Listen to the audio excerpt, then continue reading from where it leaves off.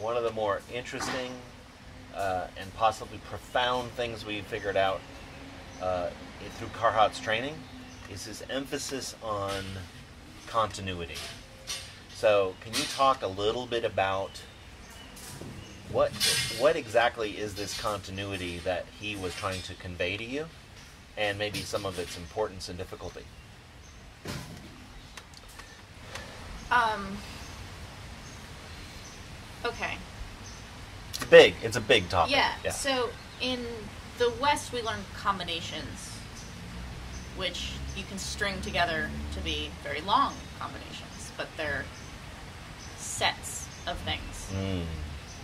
The way that Golden Age fighters, and especially Karuhat, fights is like it's not a combination, but in the way that a combination flows together, like each thing goes to the next. The reason you punch here so that you can punch here and the shoulder comes back, blah blah blah, is that it's it's endless. So the entire fight is a combination in a Mm. sense, and it can change midway through. What's what's crazy to me is that he can change what he's doing after he's already launched the kick or the punch or whatever, and it just continues into the next movement to alter it into something else. Um, nothing stops. Like there are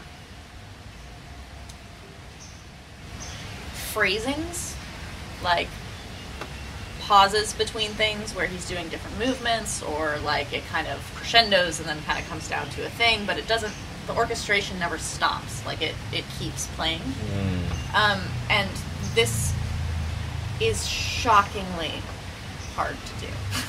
it's like, again, using the example of language, Right. is um, if you know how to say some things in a foreign language, you can say those some things, and then there's like a pause or an interruption or a like expected response. When you Mhm. ask where's the bathroom, you know what right, left, and down the hall is kind of Mhm. thing. But if someone tries to engage in a full conversation with you, if you don't have fluency, it's very hard to not have stops between Mm. those concepts and exchanges of information. Um, and so, a really good conversation, like an interesting conversation. My Dinner with Andre, most boring movie in the world, unless you can understand and follow the conversation. When you're seeing two Golden Age legends fight, you're following the conversation. Like, you're not just seeing which awesome word someone comes up with, like, midway through the conversation. It's the entire thing. Um, and that's this continuity, is that um, it's not necessarily the individual strikes or the individual combos or like that was an amazing particular move that was a crescendo, but it's part of this entire expression that's going on. It's interesting that you use a, a, a musical analogy. It strikes me from what you were saying that it's almost like he's continuously composing.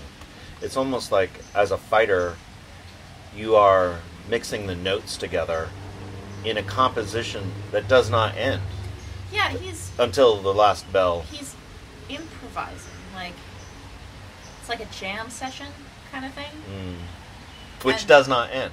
It it doesn't end, and you can kind of like go in the wrong direction, but pull it back together by listening to the other members in the group, kind of thing. Um, and I'm I'm that guy learning to play guitar who hits the wrong note and goes, "Wait, Wait. What?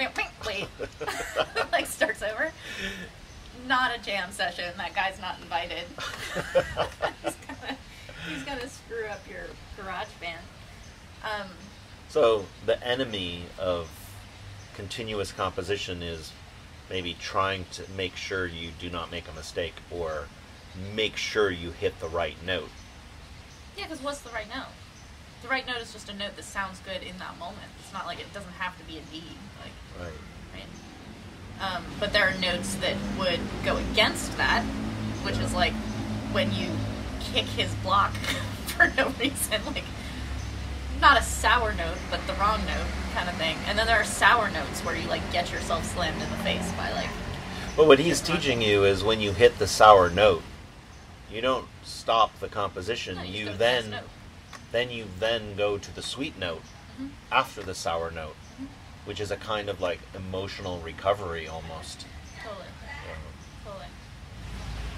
It's like when you're talking, people who are fluent in a language say the wrong word sometimes, and you just go, uh, "I meant this other word." And you just correct it and say the other word. You're not like, "Oh my god, my sentence is ruined." Like you just say the just say the next word. Yeah. Um, one of the things that I found very interesting, we were you were interviewing uh, Sirimongkol, Fighter of the Year in 1973, and we were trying to get from him some perspective on how is the fighting of your era or the of his era or the Golden Age era after. How does it compare with today's fighting? And it, he immediately went into the the complaint about the clinch today, and it's made. I suddenly dawned on me what the complaint about the clinch is. Is not that there's so much clinch. Dieselnoy, in the late '80s and early '90s, was a clinch fighter. He's considered one of the great fighters ever. It's that now the clinch ends the exchange, mm-hmm. that it stops the conversation. And this is like as the as the Westerner who's looking for the knockout. Mm-hmm. That's to end the conversation. Like everyone's trying to end the conversation now mm-hmm. at any point. Whereas the joy of the golden age, the celebration of technique, is really about continuing the conversation. And when you're winning the conversation, you're like, I would like to keep talking because you're just going to keep looking bad. Right? Uh, There's a very big difference about the celebration of continuity in the golden age and before, and the way that maybe even contemporary high level Muay Thai is fought now. Yeah, which is not only the fighters but also the refing. Like they used to let the clinch go so it could develop. Um, Right, in the golden age when clinch fighters match, matched up, they could be in the clinch for minutes yeah, but it was, it was interesting because I've heard fighters from the past complain about how now everyone's just clinch and knee. I've heard that one before. I've heard about how gambling has ruined Muay Thai, but I've never heard someone explain visually the difference of this continuity. He was actually complaining that people get tired now. He's like, in my day, people didn't get tired. Like you would just keep moving, keep going. Now people like do this burst and then they're like, which is an expression of the like stopping kind of thing. Mm, Um, and this like, you try to get one crescendo, like one big flurry, and then the rest is just kind of a wash, Mm. like a muddle or something. Like you, I've fought very good fighters who really only fight 20 seconds out of each round, mm, mm, and that's they're skilled. They're skilled in this kind of fighting, right. but that shouldn't be everybody. Like that's actually pretty. Uh, the the way that fights could be really close and like constantly flip like this was because of that continuity. Whereas now it's like there's one big thing, and then was there another big thing or not?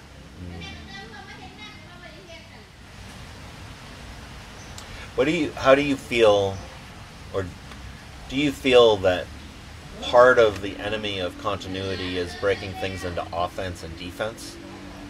Like I'm on offense, I'm on defense.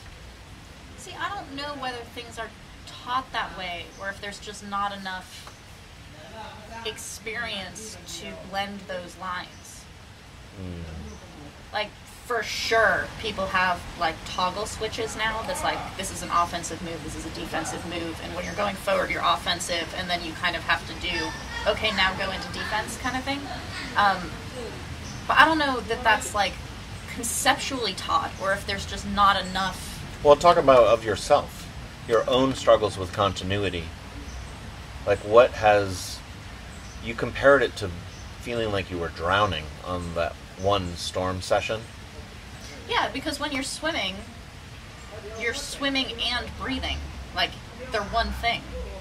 Whereas my ability and a lot of people's ability is you are either swimming or breathing. they don't they don't go together as like united strokes that breathing is part of the stroke. Um and Samart made a made a really big point when he was training me about like you anticipate being hit and you have that defense ready. It's like part of the move. It's the same way that like when you learn a punch, bringing it back to guard is part of the move. Like this is not the punch, and then I don't know what happens after that. It's like starts here, goes here, comes back here. That's a punch kind of thing. Um, but those are point A back to point A. It's not like when it comes back here, you already have the way Chart Chai teaches, where like the defense comes back to the next punch to like flow everything together. Okay, what do you what are you pointing out with that difference? I'm What- saying what that, like because everything is broken into pieces or like small couples or something, people will totally practice a block and then a kick.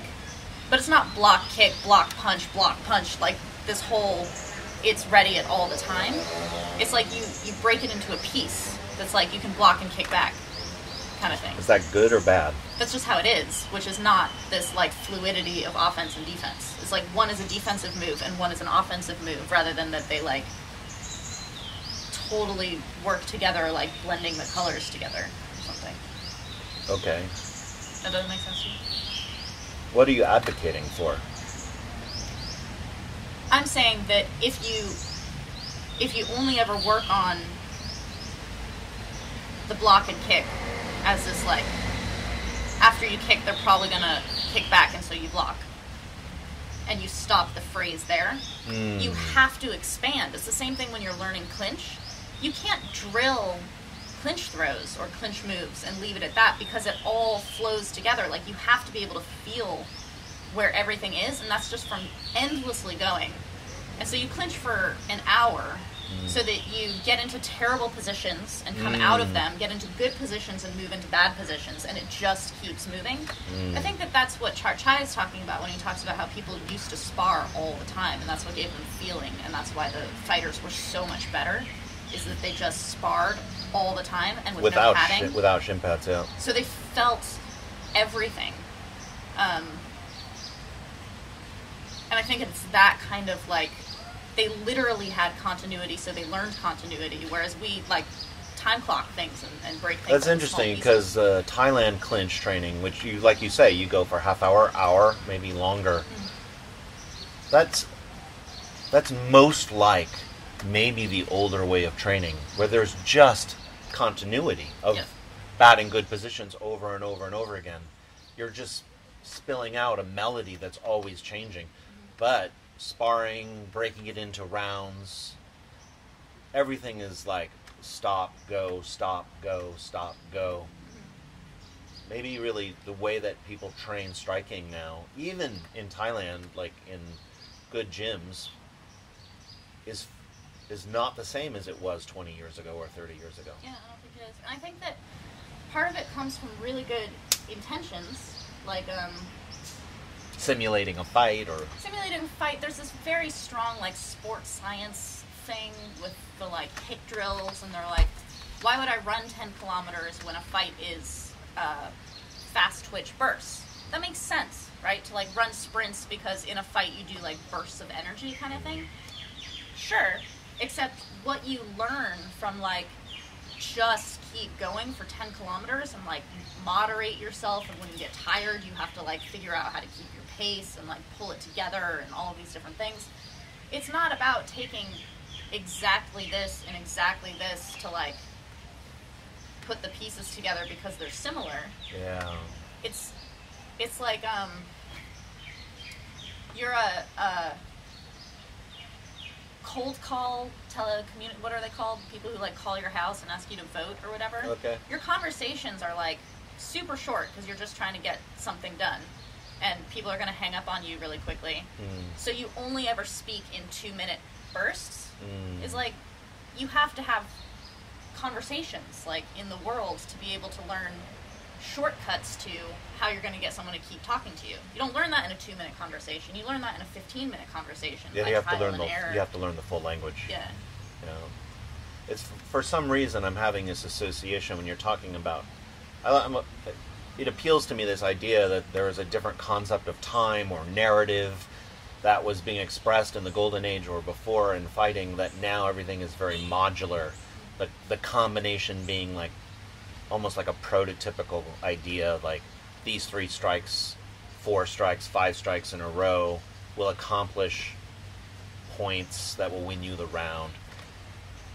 What really comes to my mind, strangely, is like oral poets in the Homeric age used to memorize entire books. Entire like the the epic was memorized, Yeah. and they would recite it for hours and hours and hours. Mm-hmm. A relationship to language and continuity that we just do not have anymore. Mm-hmm. And there, it feels a little bit like that. That the Golden Age fighters, like when you're in the ring with Karuhat, and he's just like, just keep going, do not stop. But over and over in your mind, you tell yourself, I have to stop. Like, can you talk a little bit about that impulse to stop at all times? Like, to criticize yourself, to adjust, like, try to, like, improve what you just did, correct mistakes. Like, there's a big thing between, like, I'm gonna stop and correct the error I just made and recognize it as an error, and the other impulse, which is, I'm gonna correct the error I just made by moving to the next thing. Like, going, letting it wash downstream. They're very different concepts about error and what to do.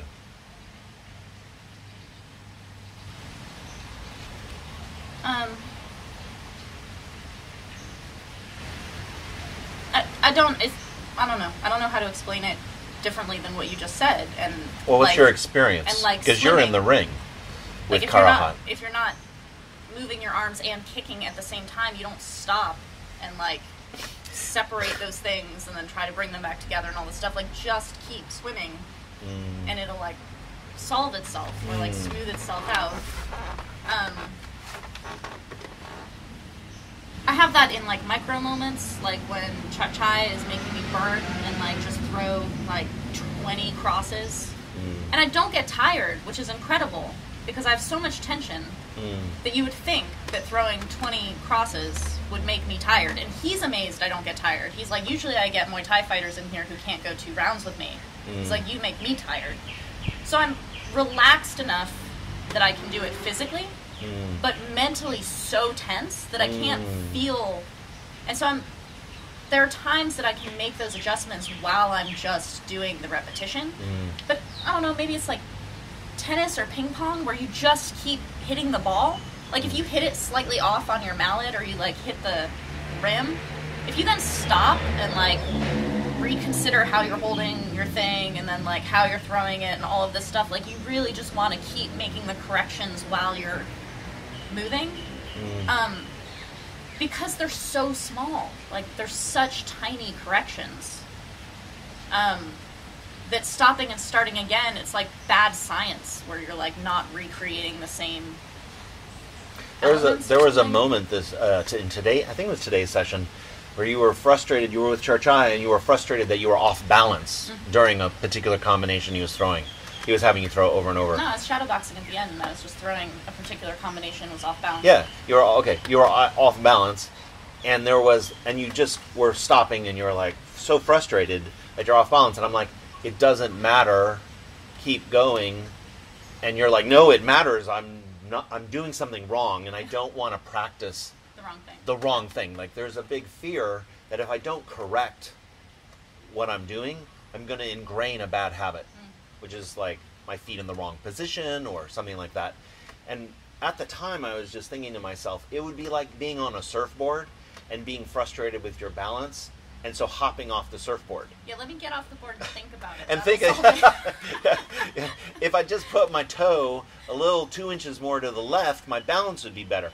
Maybe you're right, but really the way that you learn surfing or any balance kind of thing is by trying to stay on the Well, you board. still you still have that thought and you still have that correction, but you do it on the board. Like if you fall off, sure, get back on, kind of Mm. thing. But if you're slightly off, I wasn't like falling over. Mm, I was like, no, this it's doesn't just a little feel thing. right. Then it felt wrong. Yeah. um, I don't know. It's like when you put a backpack on and the straps are wrong, and you adjust the straps while wearing it. You don't take it off and adjust it, and then put it back on. You're like, that's still wrong, and take it off and adjust it, and put it back on. It's still wrong. Like, you know what I That's mean? a very good analogy. That's a very good analogy. So, what is required to gain that kind of patience with oneself? It feels like we're so, especially you, because you're very cerebral. You really trust your brain to like think about something and try to figure out the answer, which you then can apply. And it feels like at a certain point, one has to trust one's body, like the organism, like we're animals. The organism is going to figure out what the homeostasis is, like the way to make all the parts move together. Like, how does one relinquish control, really, of the mind? And maybe you could talk a little bit about vipassana and self one and self two of the inner game of tennis. Um, It's a big question, but It's too big of a question.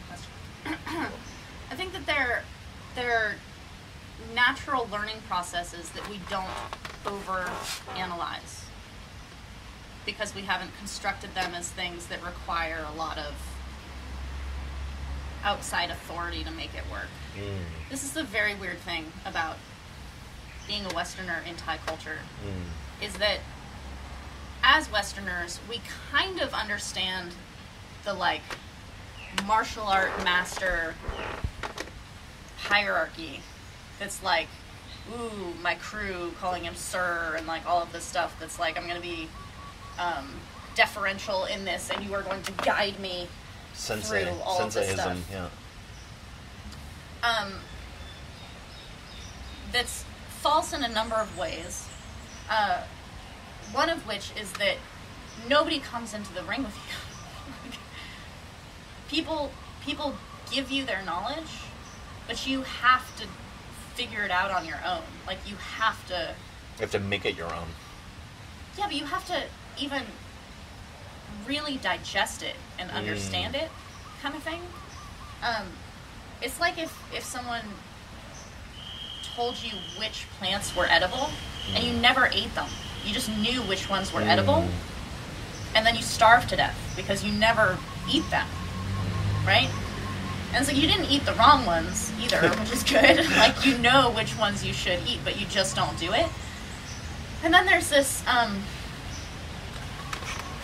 the, the Thai culture is that you totally have this respect for your teacher, both from their position and their age and just the hierarchy of society. But while you're deferent to them socially and like you do what you're told, they say go do 200 knees, you fucking go do 200 knees, you do not expect them to like download kung fu into you. Mm. it's like you you do the work. You eat the plants. Like They put you on the path, you walk the path. yeah. And if they don't tell you it's not like my crew didn't teach me blah blah blah. It's like you fucking wait. Like maybe they'll show you maybe they won't kind of thing. And you watch or you look at others. You look at that others. Insane thing not insane at all beautiful thing about Siri Khan Mm. interviewing Oh him. yeah, that was incredible. he started when he was 17, which is young in the West, not young in Thailand. like, that's old to be starting Muay Thai. Starting Muay Thai. Yeah. And he was self taught. And when we were like, well, how did you learn? Like, when he finally went from his uh, province to Bangkok to, like, join a real gym, we were like, well, how did you learn? Like, how did they develop your style? And he's like, I would go to the fights and watch the cornermen, and they would be giving advice to a fighter, and I would listen. When he kicks you, what do you do? This guy is punching you too much. What do you do? You're winning already. What do you do? Like he just like watched and listened and just took everything in. Even He's- before that, before he got to Bangkok, we were asking him, "How did you even start learning Muay Thai?"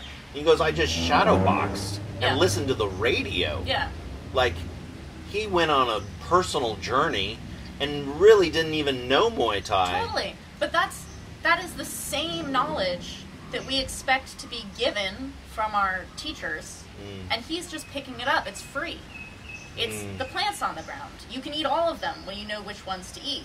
Mm. You don't wait for your teacher who told you which ones you can eat to then pick it and bring it over to you and prepare a salad for you. You know which ones to eat. You go get Mm. based on that knowledge. Like you want to know something, you listen. They're telling someone else all of this stuff. And so the way that Sirimongkol learned is continuity. He's always listening. He is always watching. It's Mm. not like, okay, well, I've lied to my crew and now I have two hours to learn Of a lesson. Yeah, this, and then when I go home, I stop thinking about it. Like Yeah. you punched your when time you're when you're describing this, this is what's really you're making my mind turn. It's so beautiful. When you walk into a, I'll call it a real Muay Thai gym, which is Kai Muay, which is a gym that has young Thai fighters coming up to become stadium fighters, right? It's they they're not there just to teach Westerners. They might teach Westerners too, as part of their business model, but mostly they exist to grow fighters. When you walk into that space, it is like a garden of edible foods mm. that can all be good for you. It's not just what the crew is going to teach you when he's standing in front of you. Like, I understand why people come to Thailand and they really do want instruction because this is the land of techniques and knowledge. But everywhere around you, if you know what plants to eat, is just you can feast on everything. It's like everything is edible. Willy Wonka. It's like Willy Wonka. Everything, every time you look at a tie, young or old, on the bag, you can learn something from what they're doing. Totally, even if they're doing it wrong. Even I watch people do things wrong all the time, and I'm like, this is super informative. Like, I probably do that. Like, I can see where his balance is off. Totally, do and you also get in these kinds of gyms, you get not only the crew, but you get these like pad men circling through that are journeymen sometimes, or fairly un- low in social status. There is a life, there is a whole ecology of knowledge in a gym like Petchrungruang, or many of these gyms that is just full of things. If that, like, if Siri Khan is like, I'm just hungry to learn, and he can shadowbox from the radio.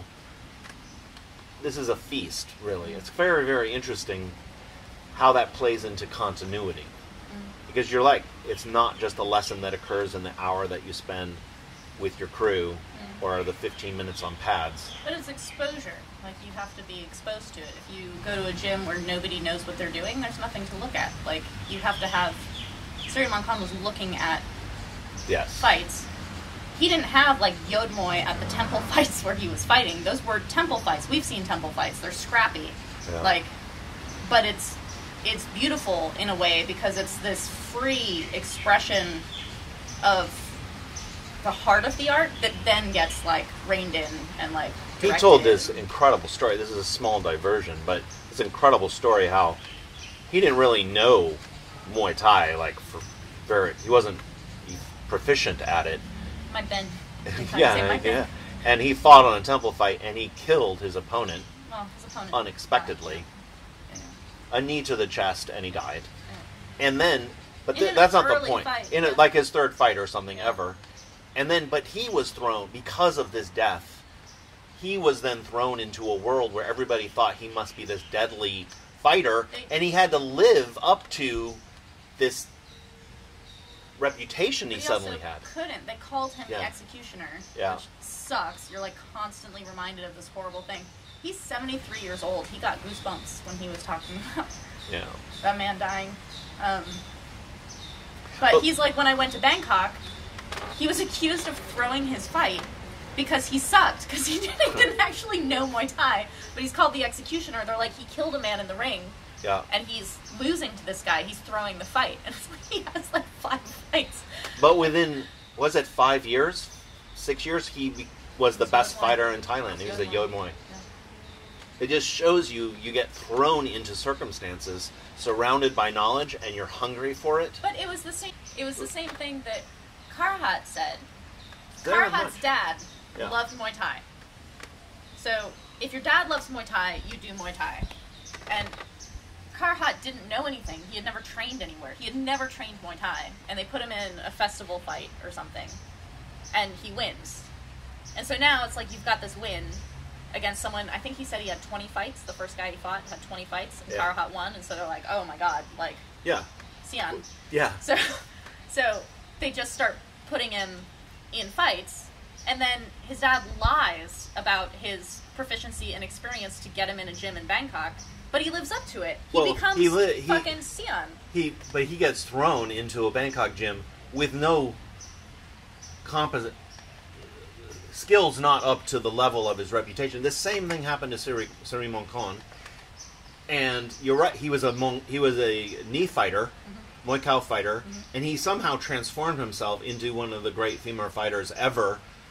But just by like trying to survive in this knowledge-rich environment. And the same thing, we hear the same story from Yodsanan. Yeah. He's like, everyone, I was the worst in the gym. They, they tell the all tell the same story. But with Yodsanan, there was no. Well, his is his two. Yodsanan loved Muay Thai, right. loved Muay Thai, and he wasn't gifted. He wasn't bad, but he wasn't gifted. He said nobody in the gym would think anything But, of he's like, I just had so much heart. He's Yeah. like, I just had the biggest heart. He would obsess over what he could have done better that day and all this stuff. And then the part that's like these other two Yes. is that he goes. His friend is supposed to fight, and his friend gets sick and can't fight, so they throw Yodsanan in because they're the same size. But Yodsanan does not have the skill and experience that his friend had. It was a boxing fight, though. no, it wasn't. It was a Muay Thai fight, Oh. and he punched the guy and knocked him out with like 10 seconds or something in the first round. He just like nailed him, and the guy's out. And so then they're like, You need to go talk to uh, Yodtong. And they're like, uh, You're going to be a boxer. And he's like, I love Muay Thai. And they're like, You're a boxer now. it's like this expectation of capacity from. And then you have to, but then you have to live under the, the expectation. But you're given a garden of knowledge. Yeah. He's in the Sityodtong gym, Yeah. Surrounded by great fighters, among them Samart, Mm. uh, Kongtoranee, Mm-hmm. great boxers, and he becomes a great, an amazing boxer because he loves training and he just eats all the plants. He's like, I'll be good at this then, since I can't do it. Even to this day, though, he's like, I love training. You, You can see it when you watch him.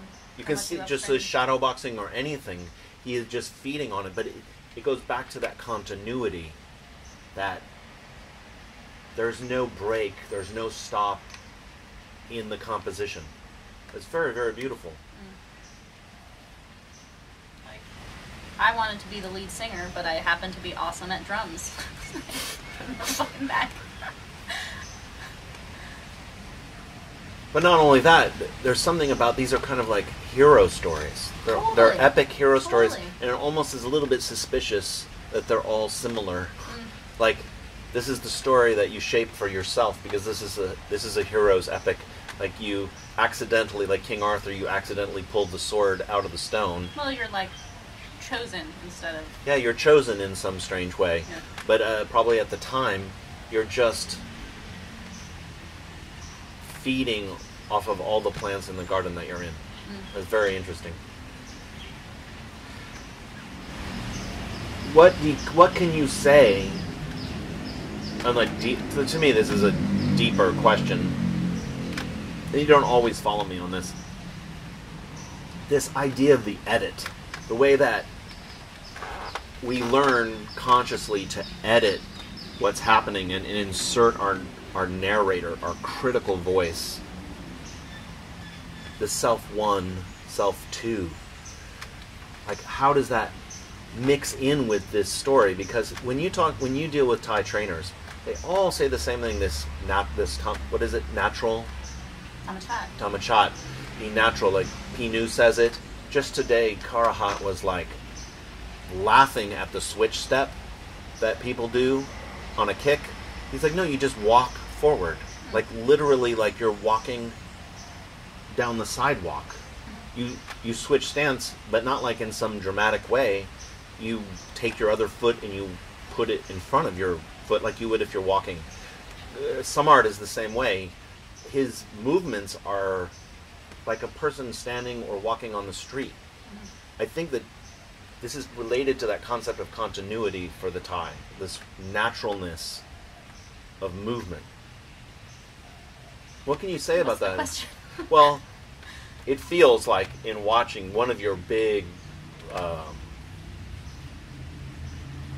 difficulties and struggles is that you do not let this natural movement move without lots of critical voice, lots of correction.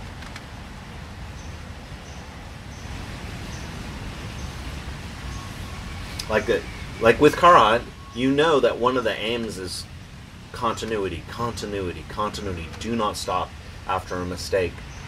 But it's so ingrained to like do this self one commentary. It's almost like you have to have a sports announcer making judgments about whether something is is succeeding or not. Not you. I think this is part of a difference between the Thai and the Western brain almost. We're very self-policing. Yeah.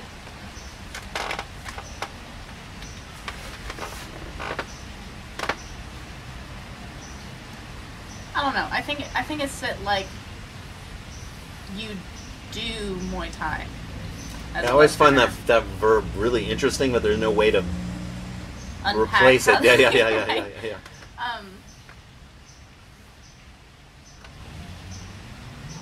so I think that in the way that we conceive of like doing Muay Thai or doing yoga or you don't do soccer, you play soccer. Right, right. In Thailand, you play Muay Thai. Like Mm, there is a natural element to it.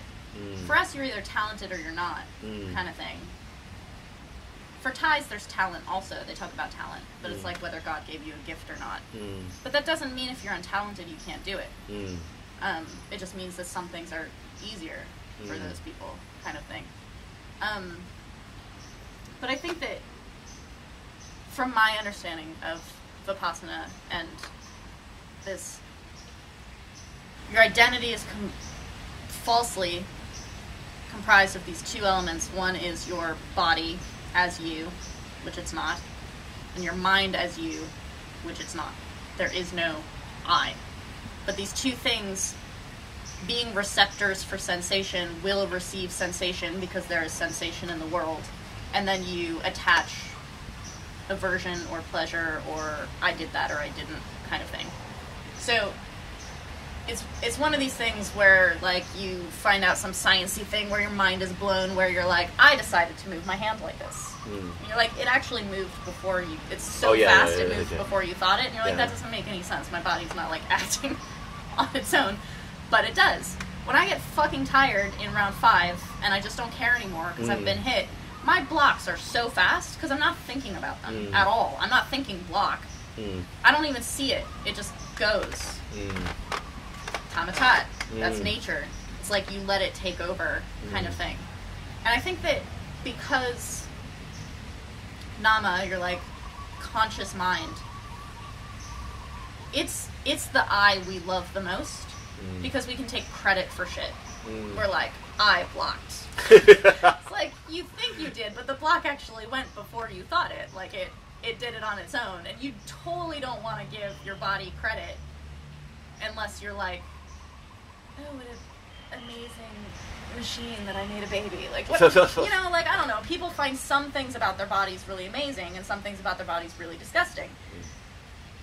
I'm like, what is physically wrong with me that I can't do this thing? Because mentally, I can do anything. Like my Mm. brain can figure out anything. I, if I do something well, I take credit for it. If I do something badly, it's like, what is? I should fault, be able to yeah. think my way through this kind of thing. Like, I can't think my way through dengue fever. like, yeah. you just, Your- it just happens. your like body can dengue is through. happening, and you fucking pass out and wake up on the floor like, oh, if I'd thought harder, I wouldn't have like Yeah. crashed on the floor. Like you, you don't have control over those things. Um, and so I think that the way that we divide that up into like doing Muay Thai and learning Muay Thai and all of this stuff, like there are things that we learn in a completely natural way that we don't take credit for. I'm not like I really learned how to walk. Like I'm a genius. Mm, You call your baby smart when they learn how to walk. Like, oh, he's so smart he can potty on his own kind of thing. And it's like that's gonna happen eventually, as long as you don't like leave it in the backyard or something. And then we ascribe cleverness or uncleverness to how long that took how early it was and all of these different things. And so I think that we Why are you thinking about babies? because that's a natural learning process that you don't think about because it happens when you're so young. Mm, You are not thinking your way through walking, and you're not Right. thinking your way through falling on your ass. You just get back up, like or don't. so in a way, you have to become more like a child or a baby Stop to learn more Muay it. Stop overthinking it. I lied to get my first bartending job. I did not know how to bartend. I didn't know what was in anything unless it was called vodka tonic, in which case it describes what's in it Mm. by itself. But I learned how to do it by just doing it. Mm. And because I knew that I didn't know how to do it, and I put myself in this position where I had to fake it, um, I didn't expect to be better at it than I was, Mm. kind of thing. I didn't expect to be good at Muay Thai for the first year Mm. that I was learning. And now that I've been doing it for 10 years, I expect to be Mm. capable of some things. Mm. I don't think I don't know how to walk if I trip on something. Just shit happens. Like you trip Right. sometimes, and you like, sorry, you correct yourself. Like you catch yourself, Yeah. and sometimes you don't. Depends on how you trip. Yeah. So like, I can be perfectly capable of throwing that kick. That when Karuhat is like, I don't understand when you're just playing around. Your kick is great, and then when I ask you to do it, you can't do it. It's because he asked me to do it. So now I'm like, I'm gonna throw that kick, and it all goes into Nama, Right. who does not know how to throw a kick. Nama's like, I know how to throw a kick because I know the mechanics. I've verbalized it, Yeah. but nothing about throwing the kick is verbal or intellectual. The body just does it. Right. So if I could just be like, let the body do it, I've done it before, like kick, bag, go, kind of thing. Right. Like if I'm gonna stand up, I'm not like, well, I need to angle my foot this way before I put the other foot down like this. I'm actually probably gonna fuck it up Yeah. because I'm overthinking it. Totally. But if I like hear the phone ring and I'm like, oh, I got it, Yeah. right? You just get up. So, how are you going to now? You've trained six weeks with Karuhat with this continuity journey, encountered all kinds of like rough patches, trying to do it with him. You're now bringing this knowledge and these goals that he's like made you aware. He's changed your eyes. He's made you aware of things you have to access in yourself. And now you're going back to your home gym, much like people do when they come to Thailand for six weeks and then they go back in the West to their gym. You're going back to your home gym, your trainer that you love, Pinu. Training with Pinu developed you thus far. How are you going to try to import continuity into your old training habits and patterns? Like how are you going how does one safeguard the thing they learned? Because it's it's the same thing that Karuhat showed me the path, and he's like, just walk on it, Mm. and now I just have to walk on it. It's weird, it's like a kung fu movie. It's totally like a kung fu movie. because honestly, if I kept training with him for a year, like if we didn't Yes. go home Yeah, yeah, yeah. and I kept training with him for a year, but I expected him to download Karuhat, yeah, it still me, wouldn't it happen. Wouldn't work. It would never it wouldn't happen. If, yeah. if I go away and never see him again, Which well, hopefully is not the case. I would die. Yeah. um, what he's shown me, if you can feel it, you can continue. Dude, it's so kung fu. It is, It's like, it's so weird. It's, very. st- it's so strange. He's, it's so strange.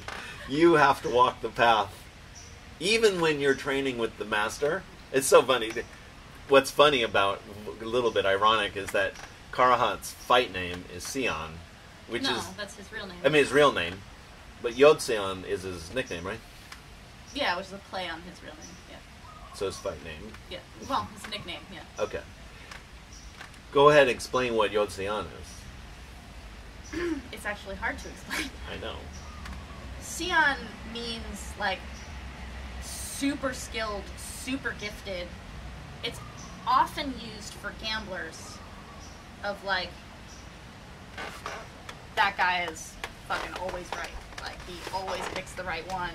Like if you are Sion as a gambler, you're like the god of gambling.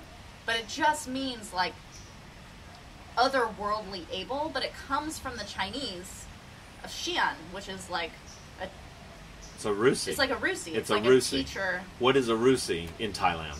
A Rusi in Thailand is this like hermit in the woods who knows fucking everything and can like encounter tigers.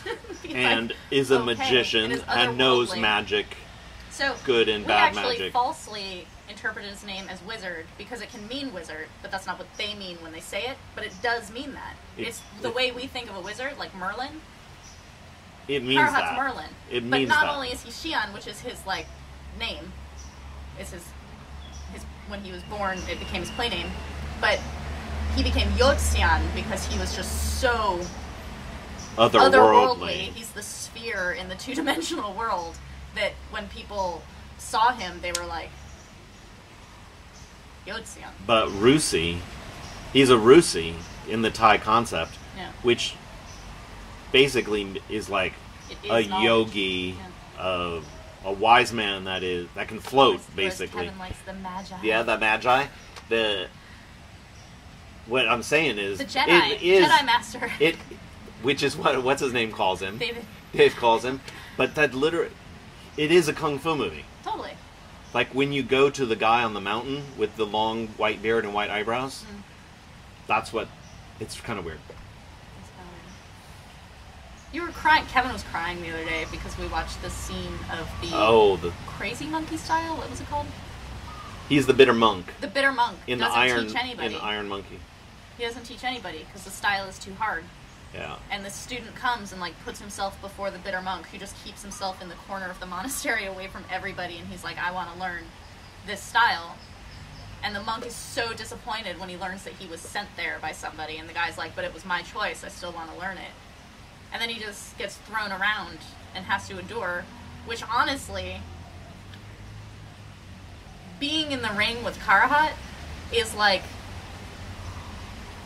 someone doing magic tricks around you and like you're hallucinating and like it's totally It feels it's like that. totally like a kung fu movie where you have to like go through this um, trial in order to even be taken as a student except that he's so generous that he's like i'll just show you everything Over and over. he's like it's like What's interesting also in this whole process is that he constantly increased the difficulty, but not because he's being some kind of um, this is how to instruct someone. yes, can you imagine he's so not like that no, but he constantly increased the degree of difficulty simply because that was the water level. Yeah. Like we're having a conversation. Oh, you're using bigger words. Well, I'm going to use bigger words. Kind of thing. And I'm going to frustrate you. time for audit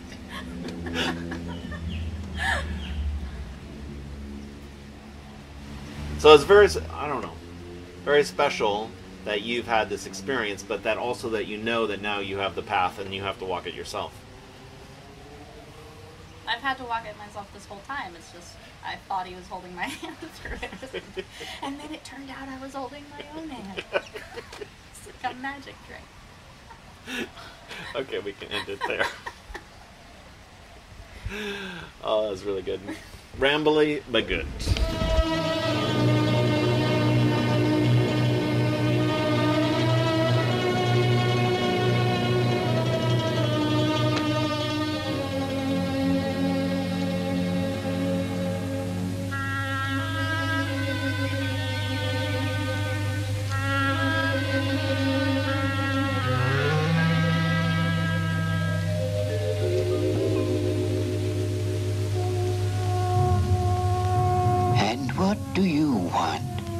Told me to come here to learn the monkey fist style.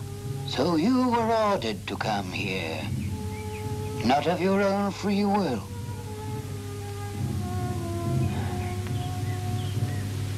Leave me. Teacher, it was my choice. Is that the truth? I know the monkey fist is difficult, and that it will restrict me as well. But I want to learn. Good. The technique is most complex. But if you learn it well, you'll beat the rest. It's superior to all other techniques, but you may not succeed. I shall do my best.